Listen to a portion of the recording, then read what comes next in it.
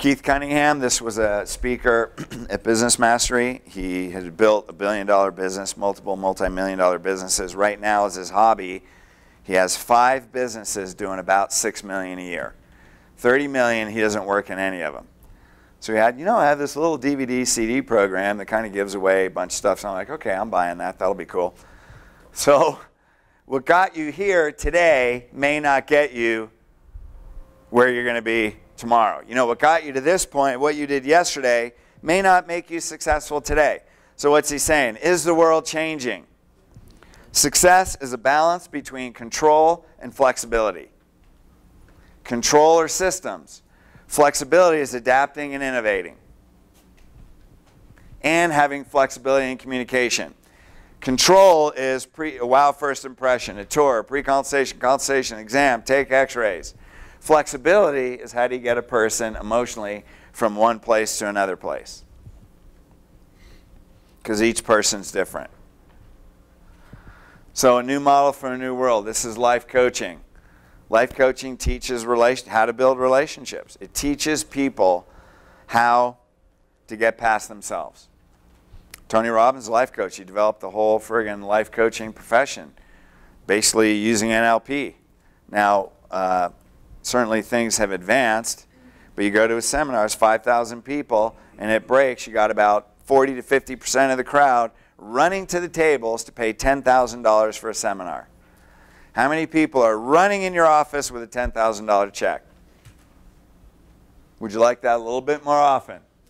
Would that be good? Do you think they would miss their appointments if they paid you $10,000? No way. So, how do we create that value? All I did in Elite was say, why don't we look at what the most successful people in the world are doing?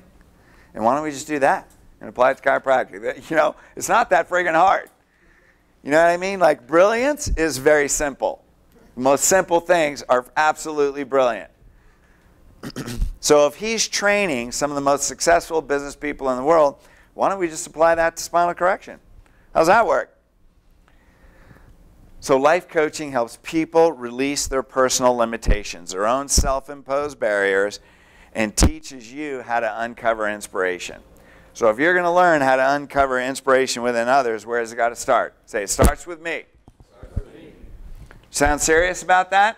A little louder. Starts with me. Starts with me. Thank you very much. it also releases the need to sell. I think selling chiropractic is absolutely ridiculous. Feeling like you have to convince somebody to do what's good for them is a good thing we're not judgmental because otherwise it would be offensive, right? It would just flat out piss you off. If you have to convince somebody to do what's good for them. How many people have been frustrated with that? So in coaching, you learn how to guide somebody to make it their choice then you never have to sell again. In fact, the power of your life is determined by the power of the questions you ask yourself.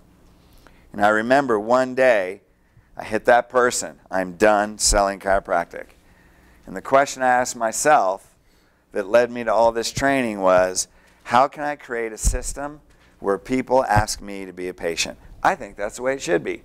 I think that people get it on a higher level and they say, Dr. Fred, can I be your patient here? And that's when the patient application system started that day with one question. Then it was a matter of finding the communication and developing the systems around it. Do you believe you're helping people get what they innately desire? Do you believe that people innately, truly, spiritually desire what you're showing them? 100%. They just don't know how to get there. So when you when you take that into your beingness, then there's no defensiveness. Then you don't panic and see objections as a barrier because objections are really questions that a person doesn't know how to ask. So when an objection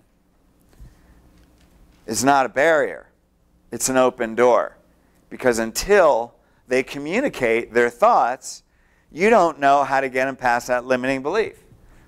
So you want people to communicate their objections. That's another little mantra we always have in Elite is we this is a system that seeks objections. We want to bring those objections out so we can clear them. And the more we clear those objections, the more they innately get what they desire, which is really to be your patient and to change the way they live their life. Does that make sense?